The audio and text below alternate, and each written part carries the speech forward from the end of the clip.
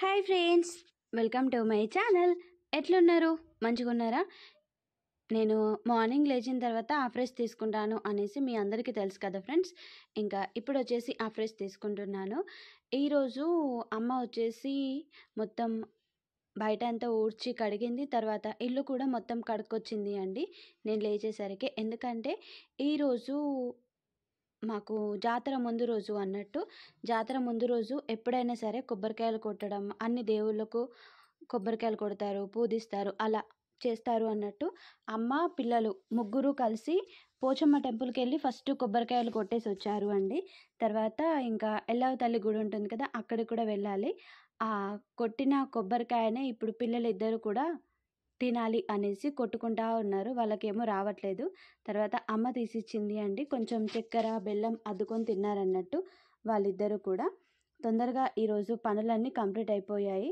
నాకే నైట్ సరిగ్గా నిద్ర పట్టక నేను లేట్గా లేచాను. లేకుంటే ఎర్లీగా లేచేదాన్ని అమ్మతో పాటే ఫోర్ థర్టీకి.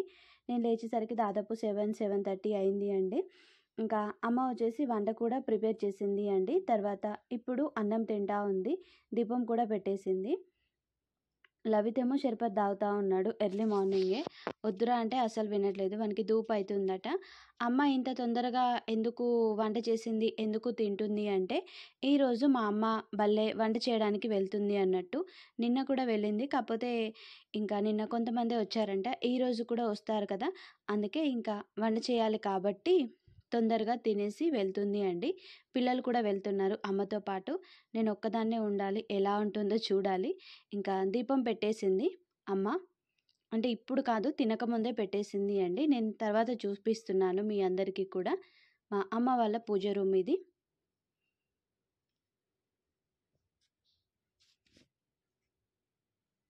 హాయ్ ఫ్రెండ్స్ అమ్మ వాళ్ళు వచ్చేసి బల్లెకి వెళ్ళారండి. అమ్మకు బల్లె వంట చేయడం వచ్చింది అన్నట్టు మీకు ఆల్రెడీ చెప్పాను కదా అప్పుడప్పుడు బ్లాగ్స్లో ఇంకా మార్నింగ్ వెళ్ళింది టెన్కి ట్వెల్వ్ థర్టీకి వన్ వరకు అట్లా వస్తారండి. పిల్లలు తినేసి వెళ్ళిన తర్వాత అవన్నీ క్లీన్ చేసుకొని వస్తారు. అమ్మతో పాటు వర్షితు లవితు ఇద్దరు కూడా వెళ్ళారు. ఇంకా వాళ్ళిద్దరు కూడా మా మమ్మీకి హెల్ప్ చేస్తారంట. అలాగే పిల్లలకి స్కూల్ కూడా స్టార్ట్ అయిపోయింది ఫ్రెండ్స్ ఈరోజు మాకు ఊర్లో బోనాలు తీస్తారు. ఈవినింగ్ టైంలో మీకు చూపిస్తాను కంపల్సరీ వీలైతే. అలాగే అమ్మ వాళ్ళు వచ్చేసి ఈరోజు కొన్ని కొబ్బరికాయలు కొట్టింది. పోషా తల్లి కొబ్బరికాయ కొట్టింది. ఇంకా వెళ్ళింది. ఎల్లమ్మ తల్లికి ఇట్లా రేపు కొడతాం. జాతర వచ్చేసి రేపు అండి. ఈరోజు కాదు. కానీ ఈరోజే బోనాలు తీయడం కొబ్బరికాయలు కొట్టడం చాలా వరకు పనులన్నీ ఈరోజే చేస్తారన్నట్టు. ఇంకా ఆకిలవదిని అమ్మ తర్వాత ఇంకో ఇద్దరు అమ్మలు కలిసి నలుగురు బల్లే వంట చేయడానికి వెళ్ళారన్నట్టు. నాకు ఒక్కదానికి బోర్ కొడుతుందండి. ఏం చేయాలో అర్థం కాక టీవీ చూసుకుంటూ ఉండిపోయాను. ఇంకా బట్టలు చాలా ఉన్నాయి. ఇవన్నీ బట్టలు ఉన్నాయి ఇవన్నీ మడత పెడతాను ఇప్పుడు. తర్వాత మా వారు రేపు వస్తారు. ఇంకా రేపు ఎల్లుండి ఉండేసి మేము వెళ్ళిపోతాము అండి. పిల్లలకి ఆల్రెడీ స్కూల్ స్టార్ట్ అయింది. టూ డేస్ నుంచి స్కూల్ కూడా పోతుంది అండి. నిజంగా చెప్పాలంటే కానీ మేము పర్మిషన్ అడిగి ఇంకా స్కూల్లో ముందే పర్మిషన్ అడిగి ఇక్కడ ఉన్నామన్నట్టు. అంటే మొన్న స్కూల్ ఉంది కదా అండి ఎండాకాలం ఎగ్జామ్స్ అయిపోయిన తర్వాత అప్పుడు క్లాసెస్ ఏవైతే చెప్పారో అవి రివిజన్ చేస్తున్నారని చెప్పారు. అవి మా పిల్లలు అటెండ్ అయ్యారు. పిల్లలు స్కూల్కి వెళ్ళిన తర్వాత అక్కడ ట్యూషన్ కూడా మళ్ళీ కొత్తది మాట్లాడాను. ఆల్రెడీ మా ఇంటి దగ్గర వాళ్ళే. ఇంకా స్కూల్కి వెళ్తారు ట్యూషన్ కూడా వెళ్తారు అండి. వీళ్ళు ఎప్పుడు వస్తారు అనేసి నేను వెయిట్ చేస్తున్నాను. టైం వచ్చేసి లెవెన్ థర్టీ అవుతుంది. ట్వెల్వ్ థర్టీ వరకు వస్తారు. నాకేమో బోర్ కొడుతుంది. లచ్చమ్మ దగ్గరికి అమ్ముల దగ్గరికి వెళ్దామంటేనేమో ఇంకా ఏం చేయాలో అర్థం కాక అలాగే ఉండిపోయాను. ఇంకా ఇప్పుడు ఏం చేయాలి? ఫస్ట్ స్నానం చేసేసి వచ్చి బట్టలన్నీ మడత పెడతాను. ఈసారి టైంపాస్ కావట్లేదు. మరి రిత్తిగాడు ఉంటే మస్తు టైంపాస్ అయ్యేదండి. ఇంకా రితిగా లేక కూడా టైంపాస్ కావట్లేదు. బోర్ కొట్టినట్టు అనిపిస్తుంది. వాళ్ళు ఎప్పుడు వస్తారో మాకు తెలియదు. మేమైతే కంపల్సరీ జాతర తెల్లారైతే వెళ్ళిపోతాము అండి. ఎందుకంటే నెక్స్ట్ జాతరకి ఈసారి ఉండట్లేదు. ఎందుకంటే పిల్లలకి స్కూల్ ఉంది కదా అండి. వాళ్ళ స్కూల్ పోయింది అనుకోండి మళ్ళీ ఇబ్బంది అయిపోతుంది వాళ్ళకి. ఒక్కరోజు అంటే ఏం కాదు రెండు రోజులు అంటే ఏం కాదు కానీ మరి ఐదారు రోజులు పడితే ఇబ్బంది కదా. అందుకే కంపల్సరీ వెళ్దాం అనేసి ఫిక్స్ అయ్యాను. ఇంకా బట్టలన్నీ మడతపెట్టి వెంటనే బ్యాగ్లో సర్దేస్తాను. నా చీరలన్నీ కూడా అక్కడ పెట్టేశాను. ఇంకొక శారీ ఉంది అండి వాష్ చేయాలి. అలాగే అమ్మాయి కొన్ని పట్టు శారీస్ ఉన్నాయంట అవి కూడా వాష్ చేయాలి. అవి ఎలా వాష్ చేస్తాను అనేది ఒక చిన్న వీడియో పెడతాను సపరేట్గా. అది చూడండి ఫ్రెండ్స్. మీకు నచ్చితే మీరు కూడా ట్రై చేయండి. దాదాపు అందరికీ తెలిసి ఉండొచ్చు. కాకపోతే నేనైతే ఎప్పటి నుంచో నా పట్టు చీరలు అన్నీ కూడా డ్రై క్లీనింగ్కి ఇవ్వకుండా అలానే వాష్ చేస్తున్నానండి ఇప్పటికీ కూడా. అదే మీకు చూపిస్తాను. ఆల్రెడీ ఫోటో పిక్ పెట్టాను ఇన్స్టాగ్రామ్లో చాలామంది అడిగారు నన్ను అందుకోసం చెప్తున్నాను. మా మమ్మీ వాళ్ళ హోమ్ టూర్ కూడా చేసి చూపిద్దాం అనేసి అనుకుంటున్నాను కాకపోతే టైం దొరకట్లేదండి. కంపల్సరీ వీలైతే చూపిస్తాను లేకుంటే లేదు. ఇది మా హస్బెండ్ ఫోటో. ఇది వర్షిత్ పుట్టిన కొత్తలో అనుకుంటా అండి ఫోటో దిగింది మా వారు. ఇది మా అన్నయ్య. మా పెళ్ళప్పుడు ఇలా ఉన్నాడు మా అన్నయ్య. చాలా డి అప్పుడు బీటెక్ చేస్తున్నాడు బీటెక్ చదువుతున్నాడు అన్నయ్య. ఇది మా పెళ్ళి ఫోటో. భలే ఉందిగా? ఇది అన్నయ్య వాళ్ళ పెళ్ళి ఫోటో. నేను చూడండి అప్పుడు ఎంత లా ఉన్నాను. చూసారా ఫ్రెండ్స్? నేను అప్పుడు ఎంత లా ఉన్నాను చాలా లా ఉన్నాను. అప్పుడు నాకు లవ్ చిన్నవాడు టూ ఇయర్స్ బాయ్ అప్పుడు. ఇంకా ఇలా. మా ఫ్యామిలీ ఫోటో మా డాడీ. మా డాడీ చాలా బాగుండేటోడు. సరే మంచి క్రాఫ్ ఉండే నా పెళ్ళప్పుడు ఇంకా నా పెళ్ళైన తర్వాతనే రందికి జుట్టు అంతా ఊడిపోయింది అంటది అమ్మ ప్రస్తుతం అయితే ఇప్పుడు లేడు. అదొక్కటే మాకు ఏమంటారు? చెప్పుకోలేని బాధ అది. ఇప్పటికీ ఎప్పటికీ కూడా. చూపిస్తాను. మా డాడీ ఫోటో కూడా చూపిస్తాను. మా నాయనమ్మ ఫోటో పక్కకే ఉంటుంది మా డాడీ ఫోటో. మా నాయనమ్మ మా డాడీ అంటే మా బాపు. చూసారా? చాలామంది అడిగారు అక్క మీ డాడీ ఉన్నారా లేరా చనిపోయారా ఎప్పుడు బాధపడతా ఉంటారు ఏంటి? అనేసి చాలామంది ప్రస్తుతం నన్నైతే చాలామంది చాలాసార్లు అడిగారు ఫ్రెండ్స్. అందుకే ఈరోజు చూపించాను మా బాపుని. మా బాపు నాకు మర్చిపోని ఒక స్వీట్ మెమొరీ. ఏడుపు వస్తుంది నాకు మా డాడీ గురించి మాట్లాడితే. ఇంకా మా మమ్మీకి ఇట్లా లేదు కాబట్టి చూపించాను. మా మమ్మీ ఉంటే ఏడ్చేది అన్నట్టు. అందుకోసం ఈరోజు చూపించాను. చాలా వరకు నేను నా పోలికలన్నీ కూడా మా బాపు లాగానే ఉంటాయి. అందుకే అందరూ నన్ను చూడగానే గుర్తుపడతారు. మా ఊర్లో మీరు నువ్వు రాయలింగ్ బిడ్డవు కదా రాయలింగ్ బిడ్డవు కదా అనేసి ప్రతి ఒక్కరు అడుగుతారండి నన్ను అయితే అంటే నా ఫేస్ చూడగానే మా బాపులాగా ఉందనేసి గుర్తుపడతారు అన్నట్టు ముక్కు మొహం కలర్ అంతా బాపుదే వచ్చింది అన్నట్టు ఇంకా చిన్నగా ఉన్నప్పుడు నేను మంచి కలర్ ఉండేదాన్ని ఫ్రెండ్స్. నిజంగా చెప్పాలంటే తెల్లగా ఉండేదాన్ని. సడన్గా ఏందో కలర్ చేంజ్ అయిపోయానంట. అమ్మ చెప్తా ఉంటుంది ఇప్పటికీ కూడా తిడుతూ ఉంటుంది. జస్ట్ జోకింగ్గా చెప్పాను. ఇవన్నీ కూడా. ఇంకేం చెప్పాలి? చూడాలి. కంపల్సరీ వీలైతే హోమ్ టూర్ చేసి చూపిస్తాను. అమ్మ వాళ్ళది బాగుంటుంది. మా మమ్మీ వాళ్ళది భవంతి అన్నట్టు ఇట్లా కుండి కూడా ఉంటుంది మధ్యలో ఒకటి. మా పెద్దమ్మ వాళ్ళ నాలుగింట్లో ఇలానే ఉంటాయి. కుండి ఇది. చూసారా? కుండి. భవంతులు అంటారు ఇట్లాంటి ఇండ్లని అమ్మ వాళ్ళ ఇల్లు చాలా పెద్దగా ఉంటుంది. మా అత్తగారి ఇల్లు కూడా చాలా పెద్దగా ఉంటుందండి. ఇదంతా కూడా హాలే. నేను చూపించేది అంతా హాలే. ఇక్కడి దాకా మళ్ళా? చూసారా? చాలా పెద్దగా ఉంటుంది. ఇవి ఐదు గజాల సంఖ్యలో ఆరు గజాల సంఖ్యలో అంటారు అనుకుంటా. నాకు తెలియదు కరెక్ట్గా. మా మమ్మీ వచ్చిన తర్వాత కనుక్కొని వీలైతే హోమ్ టూర్ చేస్తాను కంపల్సరీ. ఓకేనా? చూడాలి. ఎందుకంటే ఈరోజు రేపు డప్పుల సౌండ్ బాగా ఉంటుంది. అందుకే వీలవుతుందో లేదా అనుకుంటున్నాను నేను. ఇల్లంతా ఒకసారి బట్టలన్నీ సర్ది అప్పుడు హోమ్ టూర్ చేస్తా. ఓకేనా? ఒకవేళ చేస్తే మాత్రం. ఇంకా నేను స్నానానికి వెళ్ళేసి వచ్చి బట్టలన్నీ మడత పెట్టాలి చాలా పని ఉంది బాయ్ మీతో మాట్లాడుకుంటూ ఉంటే టైం అంతా నాకు కూడా అలానే అయిపోతూ ఉంటుంది. అందుకే బాయ్ ఫ్రెండ్స్. ఇంకా మార్నింగే అమ్మ వంట ప్రిపేర్ చేసింది అని చెప్పాను కదా ఫ్రెండ్స్. టమాటార్ చారు చేసింది.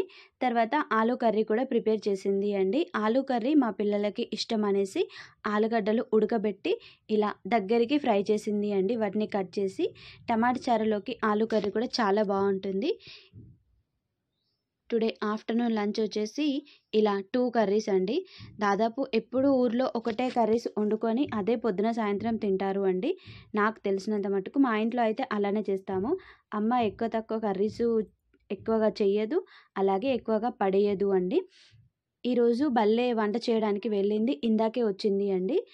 దాదాపు ప్రతి మనిషికి ట్వంటీ డేస్ వస్తుంది అమ్మ వాళ్ళ గ్రూప్లో చేసే వాళ్ళందరికీ కూడా రెండు గ్రూపులు కలిపి వంట చేస్తారు అండి. బల్లో పిల్లలు ఎంతమంది ఉంటారో అంతమందికి చేస్తారు అండి. మా అమ్మకి అలా వంటలు చేయడం చేయడం బాగా చెయ్యి తిరిగింది. అంటే బాగా అలవాటు అయిపోయింది అండి చెయ్యి వంటలు చేయడం. అందుకే పెద్ద పెద్ద అండాలు పెట్టి ఐదు వందల మందికి వెయ్యి మందికి కూడా వంటలు చేస్తారు. అది కరెక్ట్గా చేస్తుంది అండి. కర్రీస్ ఏదైనా సరే మా అమ్మ వాటిని చూసి అందాద కొద్దీ చేస్తుంది అన్నట్టు ఆ పద్ధతే నాకు వచ్చింది అండి. ఎంతమంది ఉన్నారో చూసి వంట చేయడం అనే అలవాటు.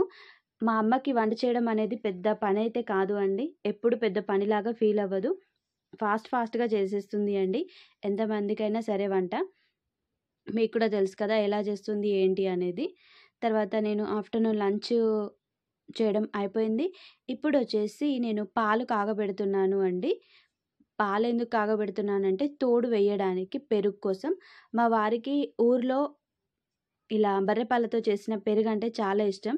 నెక్స్ట్ డే వస్తారు కదా మా వారు. అందుకే ఇంకా పెరుగు తోడు వేస్తున్నాను. ఇవి ఫ్రిడ్జ్లో పెట్టేసరికి పాలు పచ్చిపాలే అండి. మొత్తం అట్టకట్ట ఇలా మీగడ పేరుకపోయింది. చూసారా? చుట్టూ అంతా కూడా ఉన్నది మీగడే అండి. ఈ పచ్చి పాలతో కనుక మనం ఫేస్ ప్యాక్ వేసుకున్నాం అనుకోండి చాలా బాగుంటుంది మన ఫేస్. చాలా నీట్గా ఉంటుంది. నేను ఎప్పుడు వేసుకుందాం అనుకున్నా నాకు ఏదో ఒక అడ్డంకు వచ్చింది అండి. అస్సలు వేసుకోలేదు. ఊర్లో ఉన్న రోజులు ప్రతిరోజు అనుకున్నాను ఫేస్ ప్యాక్ వేసుకోవాలి అనేసి.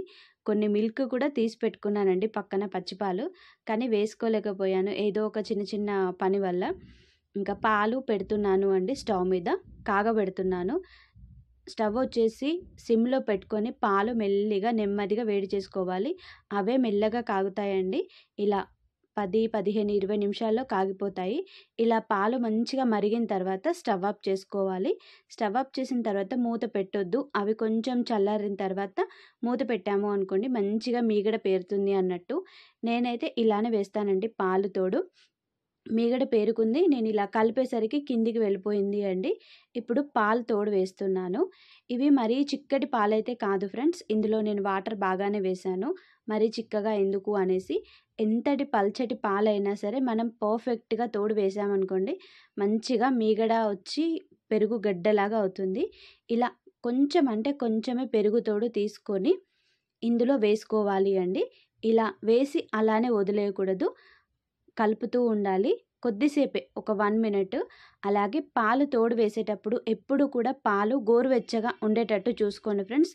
పూర్తిన పూర్తిగా చల్లారిన పాలు ఉంటాయి కదా అవి తోడు వేసామనుకోండి తొందరగా కుదురుకోదు.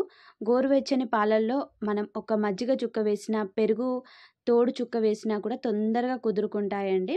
నేనైతే ఎప్పుడు గోరువెచ్చని పాలల్లోనే వేస్తాను. ఇక్కడికి వస్తే నేనే తోడేస్తాను ఎక్కువ శాతం. ఎందుకంటే బాపు ఉన్నప్పటి నుంచి పెరుగు తోడు వేయడం నాకే అలవాటు అన్నట్టు ఇంట్లో. ఒకవేళ నేను లేకుంటే ఇక్కడ అమ్మ వేస్తుంది అండి పెరుగు తోడు. అంతమందికైతే బాపు వేసేవాడు. తర్వాత ఇంకా ఇప్పుడు షర్బత్ తాగుతున్నాము. లవితో నేను ఇద్దరం కూడా. వర్షిత్ కూడా తాగుతాడేమో అనేసి ఎక్కువగానే చేశాను. అమ్మ ఆల్రెడీ తాగేసింది అండి. ఇంకా వర్షిత్ ఏమో తాగట్లేదు. మేమేమో తాగుతున్నాము. ఇక్కడికి వచ్చిన నుంచి బాగా అలవాటు అయిపోయింది అండి డైలీ షర్బత్ తాగడం. ఎందుకు గురించి అంటే ఇక్కడ ఎండలు బాగున్నాయి. ఎన్ని నీళ్ళు తాగినా కూడా తాగినట్లు అనిపించట్లేదు. కొంచెం షర్బత్ తాగగానే కడుపు చల్లబడ్డట్టు తర్వాత మంచిగా అనిపిస్తుంది అండి అందుకే. ఈవినింగ్ టైంలో బయటకు వచ్చి చూసేసరికి బోనాల కోసం డప్పులు కొడతా ఉన్నారు. ఇది వచ్చేసి బోనం ఎల్లవ తల్లికి అండి. మా పక్కింటి ఆంటీ వాళ్ళు రెడీ చేశారన్నట్టు పక్కింటి అత్తమ్మ వాళ్ళు. ఇక్కడ వరుస పెట్టే పిలుస్తాను నేను అందరినీ. ఎంత చిన్న ఏజ్ అయినా కూడా వాళ్ళని వరుస పెట్టే పిలుస్తామండి. వీళ్ళు వచ్చేసి జషు వాళ్ళ మమ్మీ వాళ్ళు మా ఇంటి పక్కకే ఉంటారు కదా బిల్డింగ్. వాళ్ళది అండి ఈ బోనం. ఎల్లవ తల్లికి ఇలా రెడీ చేశారన్నట్టు ప్రతి కులంలో ఐదుగురు తీస్తారు బోనాలు. అప్పుడప్పుడైతే ఊరంతా తీస్తారండి. ఎవరి ఇష్టం వాళ్ళది. ఇలా బోనం తీసి సారీ బోనం రెడీ చేసి పెట్టారు. ఇంకా డప్పులోళ్ళు బయన్లోళ్ళు రాలేదు. ఇందాక వచ్చి ఇట్లా మతగొల్పి వెళ్ళారంట మళ్ళీ వస్తారు అండి. బోనం ఎత్తుకపోయేటప్పుడు పెద్ద మనుషుల దగ్గర నుంచి వస్తారన్నట్టు అలా సౌండ్ అయితేనే ఉంది. ఇంతలోపు నేను బట్టలైనా ఆరేద్దాం అనేసి బట్టలు ఆరేస్తున్నాను.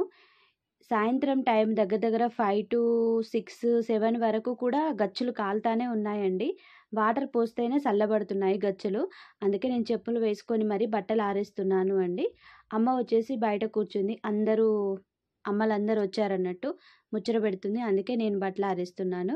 ఇంతలోపు డప్పులోళ్ళు వచ్చేసారు అండి దగ్గర దాకా. బోనాలు ఎత్తుకొని వస్తున్నారు. ముందట బైండ్లోళ్ళు డప్పులోళ్ళు ఉంటారు. అవి సౌండ్స్ చేసిన కొద్దీ వస్తారన్నట్టు. ఈ సౌండ్స్ నేను పెట్టేదాన్ని కానీ వాళ్ళ వాయిస్ వినిపిస్తుంది కదా కొన్ని మాట్లాడుకుంటారు కదా అందుకోసం నేను పెట్టలేదు ఈ వాయిస్. ఇంకా మా పక్కింటి ఆంటీ వాళ్ళు కూడా బోనం ఎత్తుకొని వెళ్ళారు అండి. చూపిద్దాం అనుకున్నాను. బోనం ఎత్తుకునేటప్పుడు కాకపోతే అందరూ నేను వీడియో తీసేసి చూస్తున్నారనేసి చూపించలేదు ఫ్రెండ్స్. మళ్ళీ ఈవినింగ్ వచ్చేసి పాలు దొరకట్లేదు అనేసి పాలు పోయడానికి వెళ్తారు కదా కేంద్రానికి. ఒక తాత దగ్గర తీసుకున్నాను చంద్రయ్య తాత దగ్గర పాలు.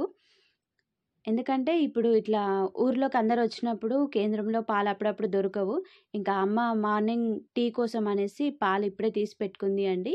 ఇందాక పాలన్నీ కూడా నేను తోడేశాను కదా మళ్ళీ టీకి కావాలి కాబట్టి ఇంకా వెంటనే తీసేసుకుంది. తర్వాత నేను కొన్ని వాటర్ తాగి మళ్ళీ ఇంటెనక కొన్ని బట్టలు ఆరేసేటి ఉన్నాయండి. ఇంకా కొన్ని అమ్మవి వాషింగ్ మిషన్లో వేశాను. అవి కూడా ఆరేస్తున్నాను ఇక్కడ ఇంటెనకాల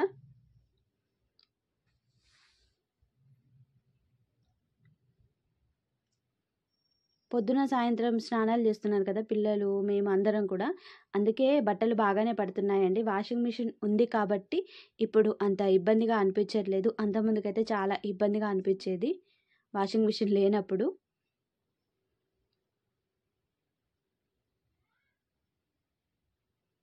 అమ్మ వచ్చేసి పిల్లలకి అన్నం తినిపిస్తుంది తర్వాత ఇది వచ్చేసి నెక్స్ట్ డే రోజు మార్నింగ్ అండి. టైం వచ్చేసి ఇంకా ఫైవ్ కూడా కాలేదు. అమ్మ ఎర్లీ మార్నింగే లేచింది పని చేస్తూ ఉంది.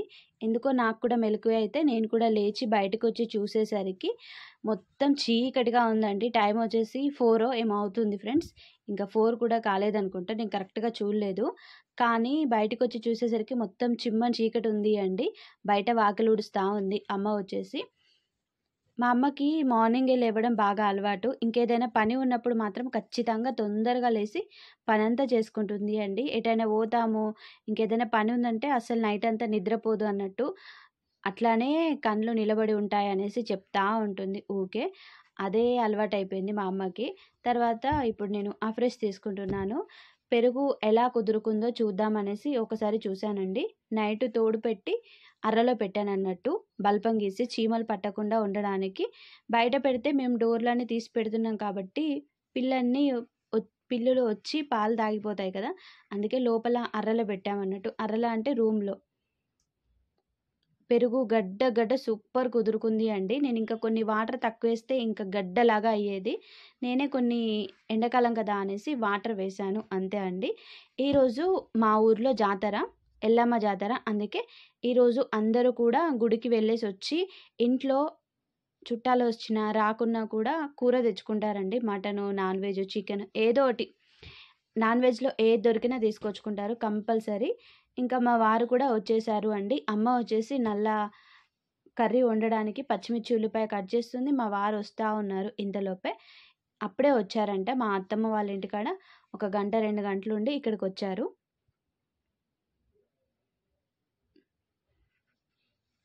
ఆ బ్యాగ్లో ఏమి ఉండదండి. ఒక ప్యాంటు ఒక షర్ట్ ఉంటుంది. దానికే మా వారు బ్యాగ్ తీసుకొచ్చుకుంటారు. ఆల్రెడీ అత్తమ్మ వాళ్ళ ఇంట్లో డ్రెస్సులు మా వారి ఎక్స్ట్రా ఉంటాయి. మా ఇంట్లో కూడా ఉంటాయి అమ్మ వాళ్ళ ఇంట్లో. అయినా కూడా మా వారు తెచ్చుకుంటారు. కొత్త డ్రెస్సులు మళ్ళీ ఏమైనా కొనుక్కుంటే జాతరకు వేసుకోవడానికి. సడన్గా ఏమైందో తెలియదు కానీ లవిత్కి ఫుల్ ఫీవర్ వచ్చిందండి. మార్నింగ్ లేచి చూసేసరికి. అందుకే ఇప్పటిదాకా లవిత్తోనే ఉన్నాను నేను. ఏ పని చేయకుండా అమ్మ నేను ఇద్దరం కూడా. అందుకే లేట్ అయిపోయింది. టైం వచ్చేసి దగ్గర దగ్గర నైన్ థర్టీ టెన్ అవుతుందండి. రాగానే మా వారు ఇంకా లవిత్ని దగ్గరకు తీసుకున్నాడు. లవిత్కి ఏదైనా బాగోలేకపోతే అస్సలు భరించలేడు మా వారు. ఎందుకంటే లవిత్కి చిన్నప్పటి నుంచి ప్రతి వన్ ఇయర్కి ఒకసారి ఏదో ఒక పెద్ద పెద్ద జబ్బు లాంటివి వస్తూ ఉంటాయి అన్నట్టు అందుకే లవిత్తోనే ఎక్కువ టెన్షన్ పడతాం మేము వర్షిత్ కంటే కూడా. ఇంకా నల్ల కట్ చేస్తూ ఉంది మా అమ్మ. నల్ల అంటే మేక బ్లడ్తో కానీ లేకుంటే గొర్రెపోతు బ్లడ్తో కానీ రెడీ చేసిందని నల్ల అంటారు. నల్ల చాలా ఇష్టం. మాకైతే చాలా ఇష్టం. దాదాపు మా ఊరి సైడ్ అయినా ఎవరైనా చాలా ఇష్టంగా తింటారు. అలా చిన్న చిన్నగా కట్ చేస్తేనే బాగుంటుందండి నల్ల. ఇంకా కూర పొయ్యి మీద వేద్దామనేసి మా అమ్మ అన్నీ రెడీ చేసి పెట్టుకుంది. ఇంతలోపు మా వారు బ్యాగ్ ఓపెన్ చేసి చూపిస్తూ ఉన్నారు. నాకు ఒక శారీ కూడా వచ్చేది ఉంది అన్నట్టు ఇన్స్టాగ్రామ్ పేజ్లో తీసుకున్నాను. ఆ శారీ చూపించారు అమ్మకి. బాగుంది అండి. మీకు ఆల్రెడీ నేను షేర్ చేశాను కదా అండి. షార్ట్స్లో ఇన్స్టాగ్రామ్లో రీల్స్లో పెట్టాను కదా ఆ శారీ అండి. నల్ల ఎలా వండుతారు అనేది చూపిస్తాను. స్టవ్ మీద వచ్చేసి పెద్ద ప్యాన్ పెట్టుకొని ఇందులో ఆయిల్ వేసుకోవాలి అండి రెండు పావులంతా. నల్ల వచ్చేసి వంద రూపాయలు తీసుకొచ్చింది. వంద రూపాయలకి అర్ధ కిలోనే ఏమో వస్తుంది అనుకుంటా అర్ధ కిలోనో కిలో అనుకుంటా. చాలా తక్కువనే కాకపోతే టేస్ట్ చాలా బాగుంటుంది. నల్ల ఎక్కువ శాతం అందరూ మందులలోకి ఇట్లా మంచింగ్లోకి వాడతారు కానీ మేమైతే తినడానికి యూజ్ చేస్తామండి. అన్నంలో తినడానికి మాకు చాలా ఇష్టం మా అన్నయ్యకు నాకు ఇద్దరికి కూడా. ఆయిల్ వేడెక్కిన తర్వాత బిర్యానీ సామాన్ వేసింది లవంగాలు యాలకులు వేసిందండి. బిర్యానీ ఆకు ఇట్లా ఏం వేయలేదు. తర్వాత ఎల్లిగడ్డ ముద్ద పచ్చిమిర్చి ఇలా ఉల్లిపాయ ముక్కలు వేసుకొని బాగా గోలించుకోవాలి అండి. తర్వాత కొంచెం పుదీనా అలాగే ఉప్పు వేసుకోవాలి. మా అమ్మ చేసే పద్ధతి నేను చేసే పద్ధతి అప్పుడప్పుడు వేరుగా ఉంటాయి అప్పుడప్పుడు అయితే దగ్గరగా ఉంటాయండి. అమ్మ చాలా తొందరగా వండుతుంది. ఏ కర్రీస్ అయినా కూడా అట్లా పోపేసి ఇలా టకటక ఫ్రై చేస్తుంది అన్నట్టు. అది మా అమ్మకున్న స్పెషల్ క్వాలిటీ అండి. మీకు అందరికీ తెలుసు నేను చెప్పనక్కర్లేదు. నాన్ వెజ్ అయితే మా అమ్మ ఇంకా సూపర్గా వండుతుంది. అసలు మా అమ్మ వండినట్టు ఎవ్వరు వండరేమో అనేసి నాకు అనిపిస్తుంది. మా అమ్మ చేత నాన్ వెజ్ తింటే మీరు కూడా అలానే అంటారండి. ఎవరికి నచ్చినట్లు వాళ్ళు మాట్లాడుతూ ఉంటారు కానీ మాకైతే చాలా ఇష్టం మా అమ్మ వండిన నాన్ వెజ్ అంటే. అది ఏదైనా సరే. తర్వాత పసుపు అల్లం ఎల్లిగడ్డ పేస్ట్ ఇవన్నీ వేసుకోవాలి. వేసుకొని మంచిగా బాగా ఫ్రై చేసుకోవాలి అండి. వీటన్నిటినీ కూడా తర్వాత ఇప్పుడు కట్ చేసి పెట్టుకున్న నల్ల వేసుకోవాలి అండి. ఇది కేజీ అవుతుంది తక్కువ కాదు. ఇంకా వర్షిత్ కూడా తింటా అన్నాడు. వర్షిత్ చికెన్ తినొద్దు కదా అందుకే ఇంకా నల్ల కూడా ఎక్కువ తీసుకొచ్చింది అన్నట్టు. ఇలా నల్ల ముక్కలు వేసుకొని ఈ పోపు అంతా కూడా ఈ నల్లకి బాగా పట్టేలాగా కలుపుకోవాలి అండి. నల్ల వండుకోవడం చాలా ఈజీ ఫ్రెండ్స్. అందుకే మీకు ఈ రెసిపీ నేను షేర్ చేస్తున్నాను. ఇలా మంచిగా ఫ్రై చేసుకోవాలి అండి. నల్ల కూడా తొందరగా ఉడుకుతుంది. ఈ కట్ చేసిన నల్ల ముక్కలు ఉన్నాయి కదా అవిటికి హోల్స్ లాగా ఉంటాయి. ఆ హోల్స్ ద్వారానే మనం వేసిన ఉప్పు కారం అంతా కూడా లోపలికి వెళ్తాయి అన్నట్టు ఫ్రై అవుతూ ఉంటే. తర్వాత ఇలా రెండు స్పూన్ల కారపొడి వేసుకోవాలి అండి. మీరు ఎంత స్పైసీగా తింటారు అనే దాన్ని బట్టి వేసుకోండి. నాన్ వెజ్లో ఉప్పు కారం కరెక్ట్గా ఉంటేనే కర్రీస్ ఏవైనా టేస్టీగా ఉంటాయి లేకుంటే గలీజ్గా ఉంటాయండి మీకు తెలుసు కదా. కారపొడి వేసి మూత పెట్టింది అండి. అమ్మ కదపలేదు. ఎందుకు అని అడిగితే అలా పడుతుంది ముక్కలకి అనేసి కదపలేదు అంట. ఇప్పుడు కలుపుతుంది అండి చూసారా? నల్ల ఆల్మోస్ట్ ఇట్లా ఫ్రై అయిందండి. కూలబడ్డట్టు అయింది ఇందాక ఉన్నట్టు లేదు అన్నట్టు ఇది తిన్నా కొద్దీ తినాలనిపిస్తుంది అండి. అంత బాగుంటుంది. చాలామందికి తినే వాళ్ళకి తెలిసి ఉంటుంది. కాకపోతే ఎవరికైనా తినని వాళ్ళకి తెలియదు కదా. అందుకే చెప్తున్నాను. ఇంకా ఫ్రై అయిపోయింది అండి. ఇది వచ్చేసి ఇలానే ఉంటుంది అండి. నల్ల అంటే నల్లగానే ఉంటుంది. వేరే ఏ కలర్లో ఉండదు. ఇలా మధ్య మధ్యలో మాత్రం కలుపుతూ ఉండాలి. ఎందుకంటే మా అమ్మ వచ్చేసి హై ఫ్లేమ్లోని పెట్టి వండుతుంది కాబట్టి ఇలా నేను మధ్య మధ్యలో కలుపుతూ ఉన్నానండి. మధ్య మధ్యలో వచ్చి కలుపుతూ సిమ్లో పెట్టి వెళ్ళాను. లాస్ట్ అండ్ ఫైనల్గా కొంచెం కొత్తిమీర అలాగే కొంచెం ధనియాల పొడి వేసి బాగా కలుపుకుంటే మన నల్ల రెసిపీ రెడీ అయిపోతుంది. ఇది అన్నంలోకి బాగుంటుందండి. రొట్టెలో కూడా తినొచ్చు మీరు కావాలి అంటే. ఇంకా ఒట్టిగా కూడా తినొచ్చు అండి. ఒక కప్లో పెట్టుకొని ఫోర్క్తో తిన్నారనుకోండి ఎంత తింటారో మీకు కూడా తెలియదు. అన్నంలో అయినా బుక్క బుక్కకి పెట్టుకుంటూ తింటామన్నట్టు ఒక్కొక్క ముక్క. మాకు బాగా అలవాటు అయిపోయింది అమ్మ చిన్నప్పటి నుంచి అలవాటు చేసింది అన్నట్టు నల్ల తినడం. అమ్మ కంటే ముఖ్యంగా బాపు పెట్టేవాడు ఎక్కువ శాతం నాకైతే నల్ల ముక్కలు. రెసిపీ రెడీ అయిపోయింది. తర్వాత ఇంకా పిల్లలు ఆకలి అవుతుందన్నారు అమ్మ వేస్తాను అని చెప్పింది అండి. అక్కడ చూస్తూ ఉంది పిల్లలు ఎక్కడ ఉన్నారనేసి. వాళ్ళేమో ఆడుకున్నారు ఇప్పటిదాకా. మళ్ళీ ఇంట్లోకి వచ్చారు మా వారు రాగానే. ఇంకా మా వారు వర్షిత ఏం చేస్తున్నారు అనుకుంటున్నారా అమ్మ వచ్చేసి నువ్వులు గాలిచ్చి పెట్టింది అని చెప్పాను కదా ఇసుక లేకుండా. అందులో నల్ల నల్లగా పేడులలాగా ఏంటివి ఉన్నాయండి చిన్నగా గుండ్రగా. అవి తీసేస్తున్నారు. అవి కూడా పంట కింద పడితే కసుకు కిసుకు అంటున్నాయి. చిరాకు వస్తుంది అందుకే ఇంకా ఈ పని చేస్తున్నారు. నేను వర్ష చేస్తానంటే మా వారు కూడా హెల్ప్ చేస్తా అన్నారు. ఎందుకంటే ఇప్పుడు బయట బాగా ఎండ కొడుతుంది. బయటికి వెళ్ళి తిరిగే అంత సిచ్యువేషన్ లేదు. అందుకే ఇంట్లోనే ఉన్నారు మా వారు. ముఖ్యంగా ఏంటంటే కరెంటు పోయిందండి. లవితేమో అటు సైడ్ పడుకున్నాడు దర్వాజా కాడ. ఎందుకంటే అక్కడ చల్లగా గాడిపోస్తుంది. అందుకే అక్కడ పడుకుంటాడు. సందిలోకి వెళ్ళి గాడిపు వస్తుందండి ఎప్పుడూ మేము ఎవ్వరం కరెంటు పోయినా అటే పడుకుంటాము. మా బాప అయితే కరెంటు ఉన్నా కూడా అటే పడుకునేటోడండి. ఫ్యాన్ గాడుపు మా బాపకు నచ్చేది కాదు. ఫ్యాన్ వేసుకోకుండానే పడుకునేటోడు. ఆ చల్లటి గాడుపు ఇష్టం అన్నట్టు ఇంకా వాళ్ళ అవి పడుకుంటే అలా అనిపించింది నాకు. అందుకే చెప్పాను. మార్నింగ్ ఒకసారి వేశారు మా వారు మందులు. మళ్ళీ ఇప్పుడు ఇవి ఆఫ్టర్నూన్ ఇవ్వండి.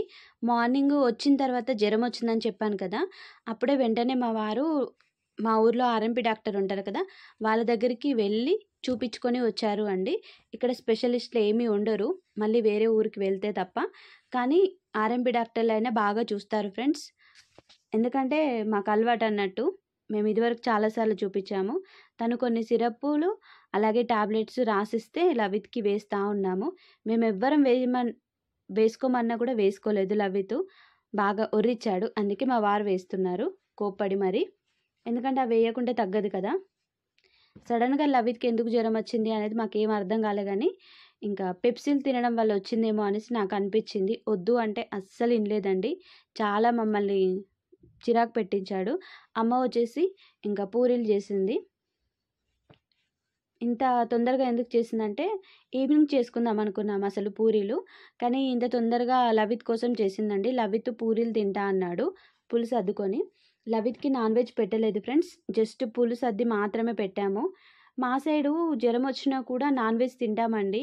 చాలామంది తినొద్దు అంటారు కానీ మేమైతే తింటాము. నాన్ వెజ్ తింటేనే తగ్గుతుందేమో ఫీలింగ్ వస్తుందండి మాకైతే.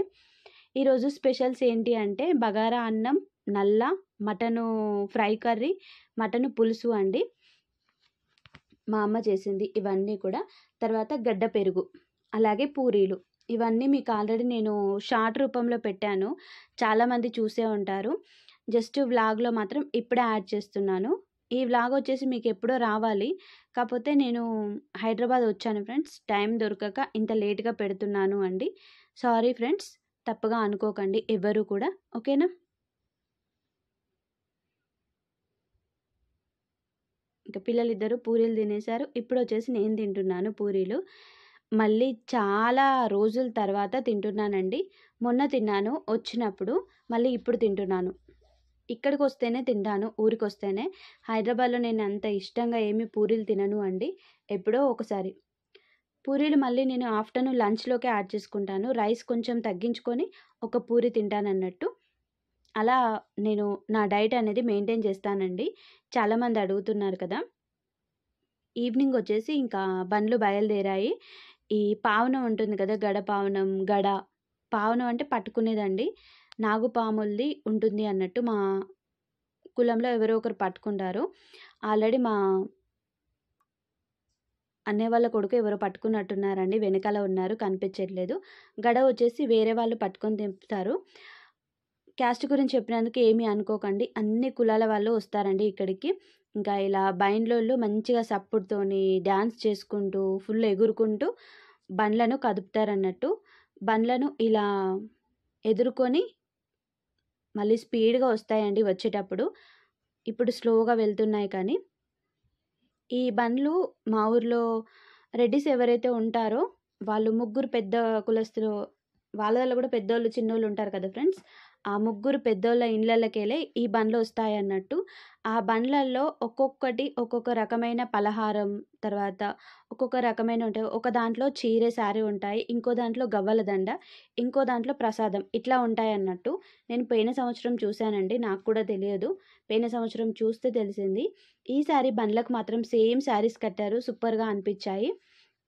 ఊర్లలో అంటే అన్ని కులాల వాళ్ళు ఉంటారు కాబట్టి అందరినీ వరుస పెట్టి పిలుస్తాం కానీ ఇట్లాంటప్పుడు ఎవరెవరు ఏ క్యాస్ట్ అనేది మాకు ఖచ్చితంగా తెలుస్తుంది అండి.